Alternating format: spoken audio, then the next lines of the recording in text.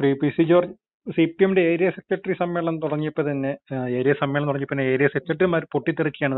ഇന്ന് മധു Mullassery B J പിയിൽ വന്നിരിക്കുകയാണ്. ബി ജെ പി അന്നത്തും നാളെ ഏറ്റെടുക്കുകയാണ്. അപ്പൊ സി പി എം പാർട്ടി തകരുകയാണോ കേരളത്തിൽ ബംഗാളിൽ സംഭവിച്ചതുപോലെ. ബംഗാളിൽ കേരളത്തിൽ ഉണ്ടാവുന്ന എത്ര നാളായി ഞാൻ പറയുന്നു. ഇപ്പൊ ഇതെന്നെ പറയോ സാമ്പത്തികമാണ് ഭരണത്തിരുന്നുകൊണ്ട് കോടാനുകോടി രൂപ പിണറായി വിജയൻ മോഷിച്ച സാഹചര്യത്തിൽ സ്വാഭാവികമായി കീഴക്കരയിലോട്ട് ആളുകൾക്ക് സംസാരിക്കാൻ നിയന്ത്രിക്കാൻ പറ്റാതായി. താഴേക്കടലോട് ചോദിച്ചാൽ താൻ എന്ത് തിരിച്ചു ചോദിക്കല്ലേ? മിണ്ടാൻ പറ്റുള്ളൂ ഇത് വന്നിരിക്കുന്ന ഗതികണമെന്ന് ഇന്ത്യയെ കുറിച്ച് അവസാനിക്കുന്നു എന്നാണ്. ബംഗാൾ തീർന്നു ഇനി ഇവിടെയാണുള്ളത്. ബംഗാൾ തീർന്നു ത്രിപുര തീർന്നു. ഇനി കേരളത്തിൽ മാത്രമല്ല അതിന് കൂട്ടിക്കെട്ടാൻ പോവാണ്. അച്യുതാനന്ദൻ സഖാവിന്റെ ആ ക്ഷീണത്തോടു കൂടി കമ്മ്യൂണിസ്റ്റ് പാർട്ടിയുടെ അപജയം അതിന് കമ്മ്യൂണിസ്റ്റ് പാർട്ടിയുടെ അവ- അവസാനത്തിന്റെ ആരംഭം കുറിച്ചു. ഇപ്പൊ എന്തിന്? കേരളത്തിൽ ഏറ്റവും അംഗീകാരമുള്ള പീഡപിടിമന്ത്രി നമ്മുടെ സുധാകരൻ. ആ മനുഷ്യൻ പോലും പാർട്ടിയുടെ സമ്മേളനത്തിൽ പുള്ളി വീടിനടുത്തുകൊണ്ട് സമ്മേളനം കൊണ്ടുപോയി പുള്ളി വിളിക്കാനാ അപമാനിക്കുക പണത്തിന്റെ അഹങ്കാരം കീറി എന്ത് ചെയ്യും? പണത്തിന്റെ അഹങ്കാരം ധാർഷ്ട്യമായിട്ട് ഇറങ്ങി നടക്കല്ലേ? ഞങ്ങൾ പണം ഉണ്ടെങ്കിൽ എന്നും നേടാമെന്ന് വിചാരം വിചാരമാണ്. ഇതൊക്കെ തകരാൻ പോകുന്നതിന് ചെയ്തതാണ് ഒരു ലക്ഷം കിട്ടില്ല ഇപ്പൊ തിരുവനന്തപുരം ജില്ലയിൽ എന്താ? തിരുവനന്തപുരം ജില്ലയിൽ ഇപ്പൊ വലിയ നമാസില്ലേ അവിടെ മുൻ മന്ത്രി ഉൾപ്പെടെ എല്ലാം തെറി മടക്കി ഓടുക.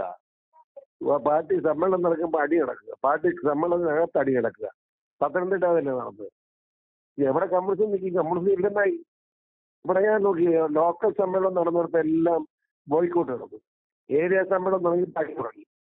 അതായത് ഇനി ജില്ലാ സമ്മേളനം പോലും നല്ലവണ്ണം നടക്കാൻ പോകുന്നില്ല. സംസ്ഥാന സമ്മേളനത്തോട് പിണറായി വിജയൻ തന്നെ നടുവ് കണ്ടിക്കും ഇനി കണ്ടിക്കാനൊന്നും ഇല്ലല്ലോ. ഇനി പിണറായിയെ കണ്ടിക്കുക എന്നുള്ള അത് സംസ്ഥാന സമ്മേളനം നടക്കും. ഇതൊക്കെ കാണേണ്ട ഗതിയെന്നല്ലാതെ ജനം ഒരു പ്രശ്നം എന്താ വെച്ചാൽ കോൺഗ്രസ് അഖിലേന്ത്യാ തലത്തിൽ നശിച്ച് നാരായണക്കല്ല് പിടിച്ചു.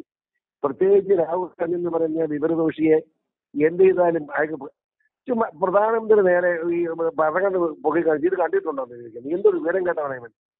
ആ പറയുന്നത് സത്യം തൊട്ടല്ലേ മോദി ഇന്ത്യൻ പ്രധാനമന്ത്രി സത്യപ്പെടുത്തി ചെയ്തത് ഇത് കണ്ടിട്ടുണ്ടോ എന്ന് ചോദിച്ചാൽ അത്ര വിവരങ്ങൾ ഇവനെല്ലാം വിവരക്കിലായിരിക്കും അത്ര വിവരം കേട്ടതായി രാഹുൽ ഗാന്ധി. അയാളുടെ നേതൃത്വത്തിൽ കോൺഗ്രസ് ഇന്ത്യൻ കേരളത്തിൽ ഇനി രക്ഷപ്പെടാൻ പോകുന്നില്ല. അപ്പൊ പിന്നെ പറഞ്ഞിട്ട് കാര്യമുണ്ടോ? ഇതവിടെ പോയി ഇരിക്കും അതായത് ബി ജെ പിയിലേക്ക് ജനം ഒഴുകുകയല്ലേ? എല്ലാ മേഖലയിലും ബി ജെ പിയിൽ ജനം ഒഴുകുക. ഞങ്ങളുടെ ഈ മേഖലകളൊക്കെ ആ നിലയിലാണ്. വളരെ വലിയ വിജയം ഉണ്ടായിക്കൊണ്ടിരിക്കുക ഒരു സംശയം വേണ്ട. ഇത് കാണാനുള്ള ഭാഗ്യം കിട്ടുന്നത് ഇവിടെ അവസാനിച്ചു അവസരം നമുക്ക് കിട്ടും ഒരു സംശയം താങ്കൾ നേരത്തെ പറഞ്ഞ ജി സുധാകരൻ ബി ജെ പിയിലേക്ക് വരും തന്നെ തോന്നുന്നുണ്ടോ? എന്തോ? ഈ ജി സുധാകരൻ ബി ജെ പിയിലേക്ക് വരും തോന്നുന്നുണ്ടോ? സി പി എം വിട്ട്. ഞാനിപ്പം അദ്ദേഹത്തെ പറ്റി പറ്റി അദ്ദേഹം പറയാന്നുള്ളതല്ല ഞാൻ പറയുന്നത് ശരിയല്ല. ഞാനുമായിട്ട് വ്യക്തിപരമായിട്ട് അടുപ്പം ബന്ധമുള്ള ഒരു മനുഷ്യൻ അദ്ദേഹം. അദ്ദേഹത്തിന്റെ രാഷ്ട്രീയം പറയാനുള്ള യോഗ്യത എനിക്കൊന്നും ചിന്തിക്കുന്നില്ല. അത്രമാത്രം സീനിയറായ ഒരു കമ്മ്യൂണിസ്റ്റുകാരൻ അദ്ദേഹം. കമ്മ്യൂണിസ്റ്റ് പാർട്ടിയിൽ ഇനി അങ്ങേക്ക് പ്രവർത്തനം അദ്ദേഹത്തിന് പ്രവർത്തിക്കാൻ പറ്റുക എന്നുള്ള സത്യമാണ്. അതെ അദ്ദേഹം എന്താണ് ചെയ്യാൻ പോകുന്നത് നമുക്ക് നോക്കിയിരുന്ന് കാണാം. അതോടുകൂടി പിണറായിയുടെ കമ്മ്യൂണിസ്റ്റ് ഞാൻ ചെറിയ അദ്ദേഹം മാത്രമാണ്. ടീച്ചർ എന്ത് ചെയ്യും? നമ്മുടെ ഗവൺമെന്റ് ആശുപത്രി മുഴുവൻ പൊളിഞ്ഞ് പാളിഷായില്ലേ ഒരു മന്ത്രിനെ കയറ്റി വെച്ചിരിക്കുക. പിണറായി വിജയൻ സ്വന്തം ആവശ്യത്തിന് വേണ്ടി വെച്ചിരിക്കുന്ന മന്ത്രിയല്ലേ അത്? പത്തനംതിട്ടക്കാരി. എന്തൊരു ഗതികേടാ. ഒരു ആശുപത്രി ഡോക്ടറില്ല മരുന്നില്ല. നേഴ്സന്മാരില്ല. ഡോക്ടർമാരുടെ ആശുപത്രിയില്ല. എല്ലാ ആശുപത്രിയും പൂട്ടിക്കെട്ടുക. ഒന്ന് ആലോചിക്കണം.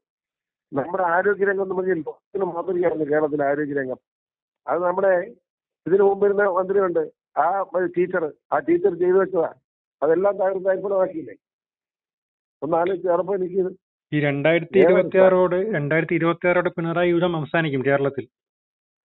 ഒരു സംശയം എഴുതിയിട്ടുള്ളൂ രണ്ടായിരത്തി ഇരുപത്തി ആറ് പിണറായി സംശയം ഒരു തർക്കം വേണ്ട. രണ്ടായിരത്തി ഇരുപത്തി ആറ് കേരളം ആര് ഭരിക്കണം എന്ന് ബി ജെ പി തീരുമാനിക്കണം. അതെന്താ ആവശ്യം? താമരച്ചിടം തീരുമാനിക്കും. ആര് ഭരിക്കണം? അന്നേരം പറയാം. അല്ലെങ്കിൽ വരെ പിരിച്ചുവിടട്ടെ. പിന്നെ രാഷ്ട്രീയ വരും. ആ. നില ഉണ്ടാകില്ലെന്ന് പറയാൻ പറ്റുകയില്ല.